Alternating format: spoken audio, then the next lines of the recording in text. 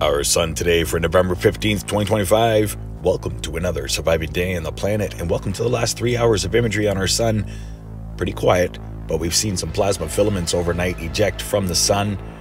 We also have the Earth facing coronal hole, and another one developing just above the equatorial region. And that is getting ready for the Earth facing party, which you're all invited to. Having a look now, 131 angstroms, no major solar flares, to report, but we did have a couple coronal mass ejections, especially from the X class solar flare from yesterday morning, and as well a plasma filament eruption. So our solar winds are coming in at 557 kilometers per second, still accelerated in the coronal hole wind stream right now under R1 minor radio blackouts.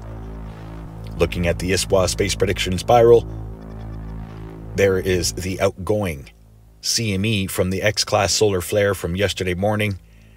So, not Earth directed, but set to give us a glancing blow, maybe getting some of that radiation sucked up into the coronal hole wind stream and still affecting Earth.